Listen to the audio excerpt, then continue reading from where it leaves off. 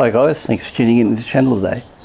I thought I might do this review on this two 2021 model scooters. So we've got the Honda Forza 350 and the Yamaha X-Max 300. So they're both brand new scooters. The uh, Honda's done about 800 kilometres. The X-Max has done around 200 kilometres. Uh, they're not motorbikes or anything like that. Went out and bought them with my own money, so we've got a good honest review there on what it's like to own two scooters, current model, and my thoughts on that. So first off, we're going to have a look at the price, fit and finish, and features. Maybe not in that order, but we'll go through it. So once again, uh, I'm in Australia, so if you're going down to buy one of these bikes, and if you're lucky enough to strike it in stock, that'd be the hardest part at the moment, whether or not either bike's in stock. You could pick up the X-Max around about $8,900 right away, Australian dollars, 8,900 and the uh, Forza, it's around 10,000 right away. So apart from that, that, that's the price on both bikes and whether or not you're lucky enough to walk in and see one's a, a, a different story. So as far as that goes, uh, if you were down there and you bumped into one and one was on the floor, if you purchased either bike, you'd be really happy with it. So I've, like I said, ridden one 200, one 800 kilometres. So I've got a good idea roughly how they go because I've been on a lot of new bikes and, you know, I go through a few. So I reckon if I can't get on the bike and pick if it's any good within uh, a ride, well, things are pretty bad and I shouldn't be buying bikes and I should be riding bikes and that's the way I'd look at it that way. Okay, so we've knocked over the price, now we'll go on to specs. There's not a great deal separating these bikes. We've got two uh, bikes that weigh in, so example the Honda, it comes in 185 kilos in weight and the uh, X-Max 300 comes in at 180. There's not a great deal of difference between them. If anything, I think the X-Max feels just that a little bit smaller, or a tad smaller when you're riding it. So I think the X-Max more compact in that mine. So uh, I think, you know, 185, 180, you know, nobody can really pick five kilos when they're on them. Uh, when you look at wheels, like uh, they both similar there too. The uh, both run 15 inch front.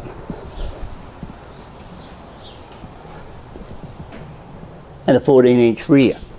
So they're pretty well level in that playing field there too. So uh, that bit aside, the only other thing that really separates them is sort of the engines.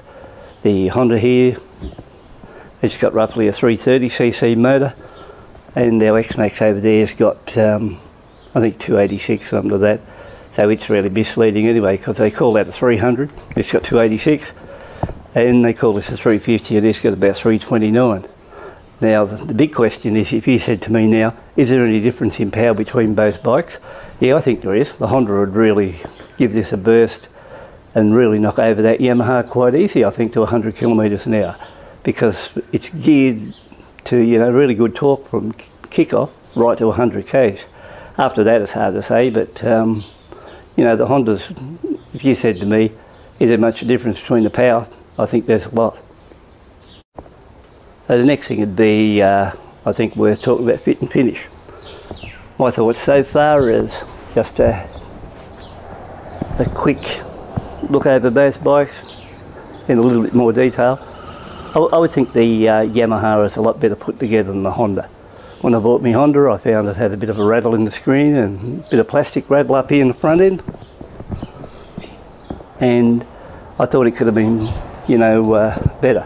Now if you look at this Yamaha, they're, uh, they're actually assembled in Indonesia and my thoughts there that it's assembled as good as what you'd got an old bike in the old days assembled in Japan. So it's really well put together the Yamaha. So I'm really happy how it's put together. The Honda's assembled in Thailand and I think it lives up to that side of it. While I'm at it, we'll swing back to uh, features. So if you pay 8900 for the Yamaha and you um, pay 10 grand if you want to jump to a Forza, what do you get for it? Well, what you actually get, the most important thing, if you're after a little bit of power and you want to pull hills better and you're in a hill area, is with the Honda you get for one, you get the bigger motor, which like I said, even though in paper there's only two horsepower separating them, out on the road not the case because I really enjoy riding Honda. So that's one thing you get. The uh, second thing you get is this pretty neat powered windscreen. which, you know, is pretty handy to have. But, you know, you could live without it if you had to and just put a, oh, whatever they call them, sit up the top here and wind deflector. So that'd be the second thing, but more importantly, the other third one is with the Honda you get two key fobs instead of one, where the Yamaha only gives you one. Now if you lose a Yamaha key fob, from what I've been told, you know, you've got to uh, take all this information to the dealer about what your model of bike is and all that. Then you'll have to order you a key. It'll cost you about $200 to have it, purchase it and have it reprogrammed. But you may be out of a key for a few months or several weeks because from what I believe others have said, getting a key fob spare for one of these is not an easy job. But with Honda you get two, so there's no drama there. You can keep one at home safe and the other one naturally on with you when you come out to get on the bike. But uh, on the other one, Yamaha definitely should have two. So once again, here's a bit of a look at the key fobs. On our left here, the Honda. Like I said, you get two. And uh, back on the right there, you get the Yamaha, and that's what you get, just one. Now I suppose it wouldn't be a fair test unless I give you an idea of the screen. So we've got the screen now in the low position. I'll press the button, up she goes. So if we look at it now, there she is up. Bit hard to reach this and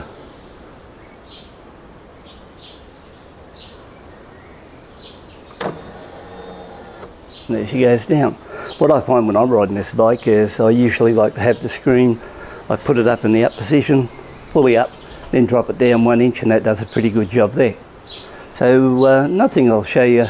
If you look at the Honda, it's got the best indicators. The reason being, there are a lot more from, I think, a safety point of view, like they sit up nice and high. The Yamaha's tucked down really low. I might kick the Yamaha over and we'll just have a quick look.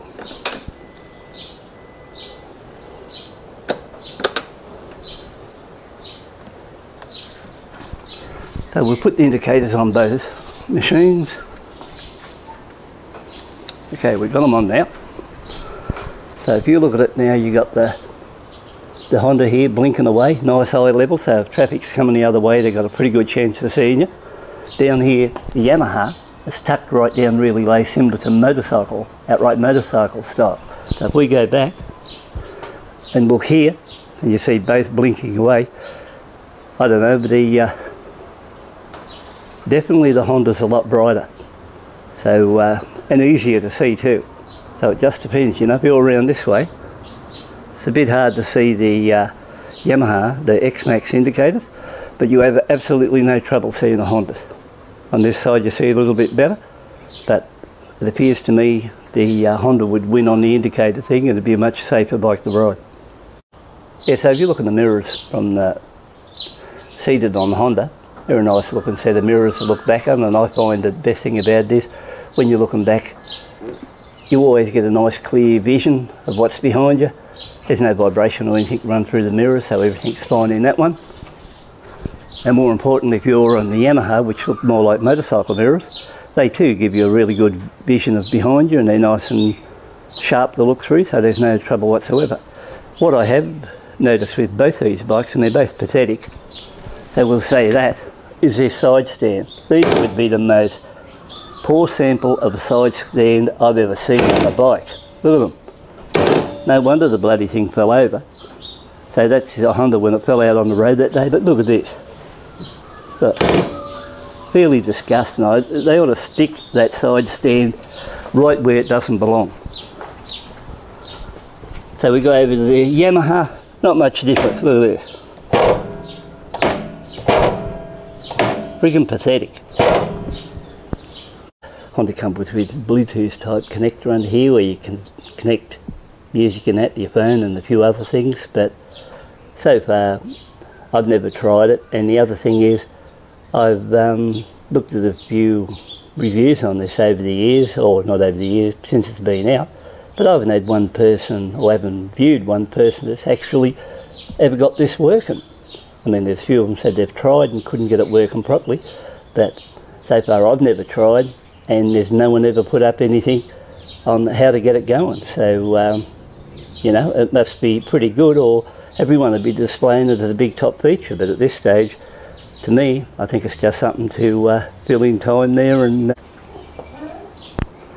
Now before we give this Bluetooth connector a flick, don't get me wrong, I'm not saying that it doesn't serve a purpose. I'm pretty sure you could find something to do with it and you know, that, that's totally up to you which way you want to go, but I reckon I've found one.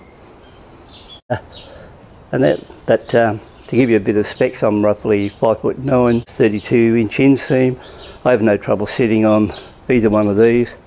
If anything, on the um, Yamaha here, it's got a little bit of a sort of a little bit more, could be a tad more height in the seat, or and it spreads your legs more when you're riding it. So the first few times out on it, you do get a bit uh, muscle stretch in the thighs, but apart from that, I can sit on either one of them virtually pretty close to flat footing.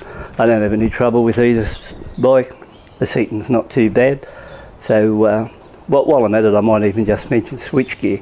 If you look at the Honda Forza switchgear, there's a heap of stuff around. These bikes have been out a while. We don't have to go through the controls. You know everything on there. All I'm saying, when you look at the Honda, if anything, it's fairly cluttered in the amount of controls there. Over this side here, especially if you want to go to the different modes to select different parts on it.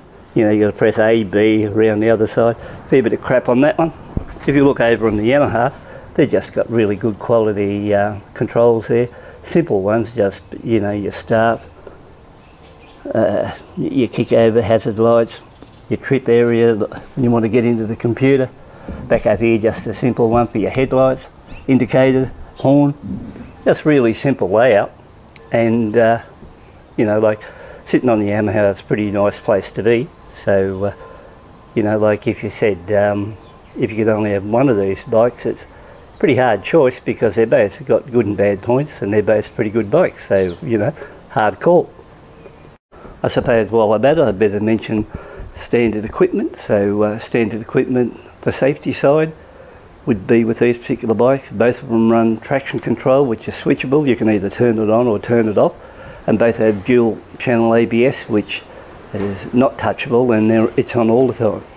Now I reckon the ABS, if anyone's out there buying a new bike scooter for the first time, my thoughts on ABS, you know, I reckon they're really lifesavers. I've had the chance to go hard on the brakes a couple of times on different bikes with ABS and I'm glad I had them. In fact, one particular bike, a 390 Adventure KTM, I was actually had to go hard on the brakes in the corner once and it had steerable ABS. But I'd never seen a bike pull me down so quick and so safely and I could steer it around the corner. So, you know, anyone that sort of is against ABS and that, well, those guys are old school and they should be on 1950, 1960 model bikes and, you know, that, that's where they belong. But, you know, we have to keep people alive in uh, 2021, not knock them over. And I think if you've got traction control, ABS, that is the way to go. Anyway, guys, that uh, does it for this bit of a review on this part of it. On the next clip, we're going to have a look at the under seat storage capacity on both bikes and I'm going to remove the plastics off the handlebars on either bike and we'll just show you how they look underneath because the Honda's got more of a scooter type um, front end setup and if you go to the Yamaha it's got more of a motorcycle one so it's fairly interesting to look at that one so we'll swing into that on the second one so once again thanks for tuning in taking a look and uh, we'll get into it in, uh, on, the, on the next clip and I'll just show you what's inside that section there as we work our way through various uh, events which are going to happen when I take this bike out, or both bikes out on it. But uh, either way, once again, they're both not bad bikes and in the end it all boils down to personal preference or how much money you got in your pocket to buy one and or more importantly whether either bike's available when you come to buy it. So there's a lot of factors you have to bring into it to decide what you're actually getting and what you're not. So once again, cheers for now, catch you next time and all the best.